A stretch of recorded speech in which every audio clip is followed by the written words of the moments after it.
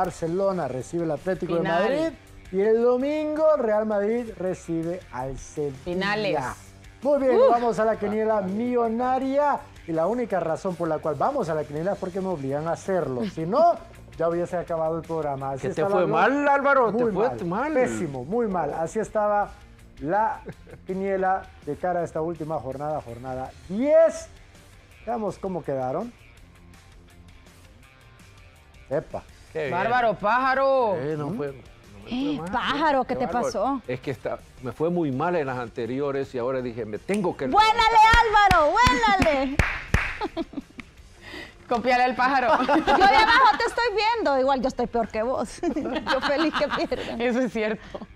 No conozco ningún Pero, ¿tú fiscal con sentido del humor, ¿eh? Bueno, Te van a quitar. Vámonos al fiscal. consolidado de cómo estamos de cara a la liguilla, donde se termina definiendo absolutamente todo. Sigue apretado, ¿eh? Sigue. sí, apretado. Se despega un poco Camila, ahí viene Nelson. Cuidado con el pájaro. Y yo ya me fui. Y se marchó. Ya trajo cocos. Ahí está trajo cocos. Y se marchó. Muy bien. Borrón y cuenta nueva a partir de miércoles. Todo un nuevo torneo. Vamos a ver quién logra sobrevivir y quién no a partir de la liguilla. Cuartos de final este miércoles. No se lo vaya a perder acá en Canal 4. Adiós.